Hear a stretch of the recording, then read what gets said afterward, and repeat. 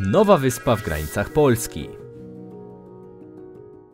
Witajcie! Pewnie wiele razy, kiedy patrzyliście na mapę Polski, to zastanawialiście się nad tym, co by było, gdyby Polska posiadała wyspę gdzieś na Bałtyku, albo i może nawet trochę dalej. Pamiętajcie jednak, że obecnie nasz kraj ma wiele wysp, a w granicach Polski jest ich łącznie ponad 200, z czego największą z nich jest Uznam, który jest mniej więcej w połowie Polski, a w drugiej niemiecki, ponieważ to tam przebiega granica dzieląca nasze państwa. Kolejnym przykładem może być chociażby Wyspa Sobieszewska, położona nieopodal Gdańska. Ona też nie jest jakoś wybitnie mała, w końcu jej długość wynosi 10 km, a szerokość mniej więcej 4, przez co jest ona większa niż chociażby słynne Wyspy Palmowe w Dubaju. Jednak jest tutaj pewien problem, który nieco wpływa na polskie morale. W końcu w większości przypadków o istnieniu tych wysp dowiedzieliście się na lekcjach geografii lub też teraz oglądając ten odcinek. Problemem, który w naszej wyobraźni nieco dyskredytuje te obszary jako wyspy, jest to, że ich odległość od głównego terytorium naszego kraju to czasem dystans nie przekraczający nawet 100 metrów, przez co kiedy spojrzymy gołym okiem na mniej dokładną mapę, nie jesteśmy w stanie zobaczyć tego, że są to faktycznie wyspy. Jednak teraz pojawia się w końcu szansa na to, że w granicach Polski pojawi się zupełnie nowa wyspa, oddalona aż o 4 km od stałego lądu. Tak więc jeśli jesteście ciekawi jak do tego dojdzie i kiedy nasze terytorium się powiększy, tak zapraszam Was na dalszą część tego materiału. Pamiętajcie także o tym, że subskrybując mój kanał oraz zostawiając łapkę pod tym materiałem, zdecydowanie lepiej radzi on sobie w algorytmach YouTube'a. Tak więc liczę na Wasze wsparcie. Oprócz tego twórca najczęściej lajkowanego komentarza otrzyma koszulkę Teamu Globalistów. Zapraszam Was jeszcze tylko na mojego Discorda, gdzie możecie ze mną nieco podyskutować. Link znajduje się w opisie. Ok, nie przedłużając, wróćmy już do tematu tego materiału. Sporo ostatnio mówi się o przekopie Mierzei Wiślanej, która w pewnym stopniu blokuje rozwój północno-wschodniej Polski, a dokładnie rzecz biorąc Elbląga, który docelowo miałby stać się kolejnym ważnym dla Polski portem. Na chwilę obecną, żeby statek mógł dopłynąć do tego miasta z Gdańska, potrzebne jest spłynąć na rosyjskie wody terytorialne, a taka podróż to aż 150 km. Dlatego na chwilę obecną jest to po prostu mało opłacalne. Dlatego tutaj z pomocą przychodzi przekop Mierzei Wiślanej, który nie tylko uniezależniłby nas od Rosji, ale dodatkowo skróciłby trasę do zaledwie 60 km. Opinie na temat tego, czy taka inwestycja jest opłacalna, są podzielone. My jednak skupimy się tylko na tym ostatecznym rezultacie, którym ma być m.in. powstanie wyspy, ponieważ zebrana z przekopu ziemia oraz piasek mają właśnie służyć tej inicjatywie. Nowe terytorium naszego kraju będzie elipsą o długości 2 km i szerokości 1 km.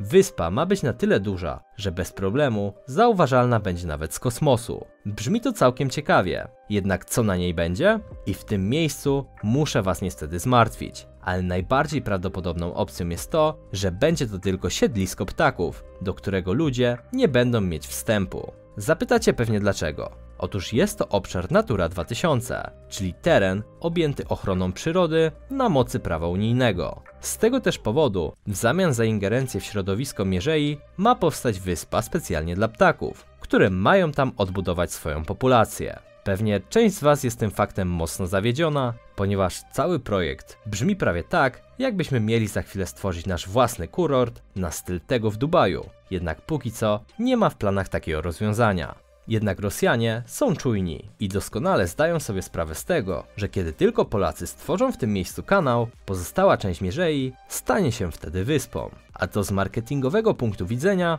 jest wręcz genialne. I w 2019 roku na mocy gubernatora okręgu kaliningradzkiego powstał projekt, który zakłada, że po rosyjskiej części Mierzei powstanie specjalny kurort nastawiony na zachodnich turystów. W końcu jest to najbardziej wysunięty na zachód kawałek Rosji, który symbolicznie także stanie się wyspą. Rosjanie do tej pory zakładali, że też utworzą z Mierzei rezerwat przyrody. Jednak po przekalkulowaniu uznali, że mogą na tym całkiem sporo zarobić. Dlatego my teraz czysto hipotetycznie zastanowimy się nad tym, jak inaczej można byłoby tą wyspę wykorzystać i ile ewentualnie przyniosłoby to pieniędzy. Oczywiście nie myślcie, że mam coś przeciwko temu, żeby żyły sobie tam ptaki, ale warto jest czasem trochę pospekulować. W końcu na tym częściowo opiera się mój kanał. Tak więc zacznijmy najpierw od powierzchni. Wyspa, tak jak wcześniej wspominałem, będzie elipsą o długości 2 km i szerokości 1 km oraz ma być maksymalnie wysoka na około 2 do 3 metrów nad poziomem morza. To też powoduje, że mówimy tutaj o obszarze wielkości 181 hektarów. Znajdźmy więc teraz porównanie dla tej wielkości. Przenieśmy się do Warszawy, a dokładnie pod Pałac Kultury.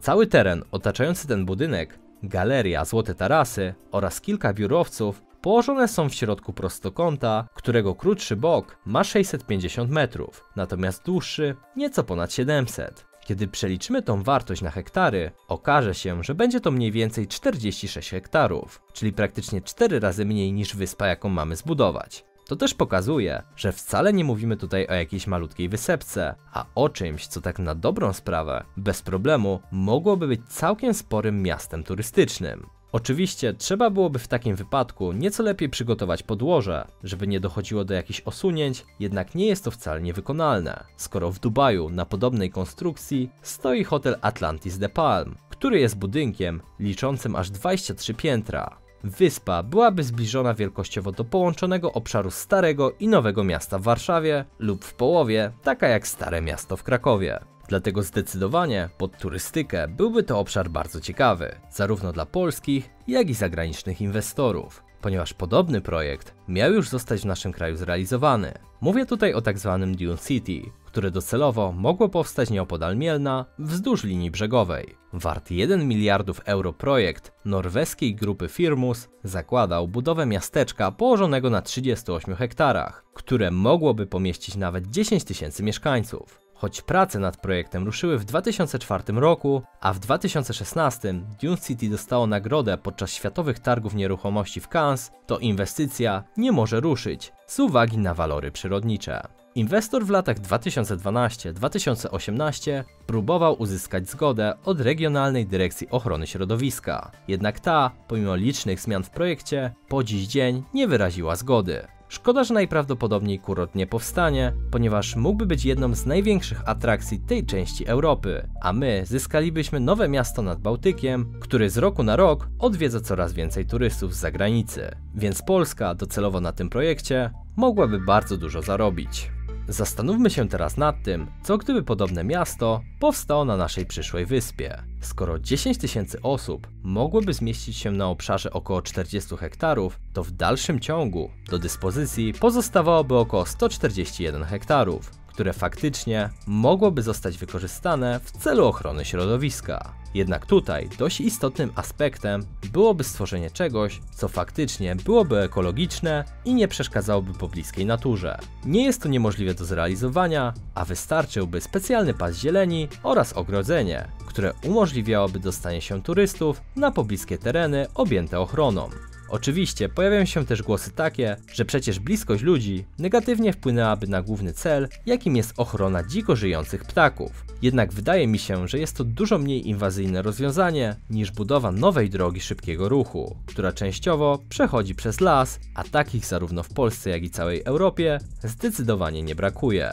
Kurort na przykładzie Sopotu mógłby generować roczne zyski sięgające około 30 milionów złotych, a sam przekop Mierzei Wiślanej to koszt mniej więcej 1 miliarda złotych. Szacunki na temat tego, jak szybko zwróci się taka inwestycja są różne, jednak ich średnia to mniej więcej od 50 do nawet 100 lat. Dlatego budowa takiego małego miasta na nowej polskiej wyspie mogłaby zdecydowanie przyspieszyć proces zwrotu pieniędzy, a dodatkowo stać się wizytówką naszego kraju. Jednak w tym wszystkim jest jeszcze jeden głębszy sens, a dokładnie znaczenie strategiczne Zalewu Wiślanego, ponieważ wraz z przekopem Mierzei będą tam mogły wpływać okręty wojskowe, a to docelowo będzie nieco odstraszać Rosję.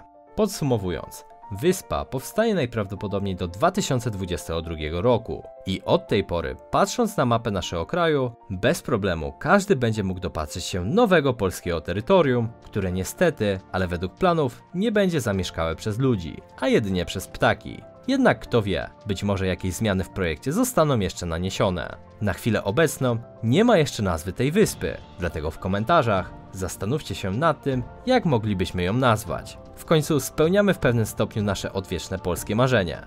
Dajcie oczywiście znać, co sądzicie o takim projekcie. Dziękuję Wam za uwagę i do usłyszenia niebawem. Cześć!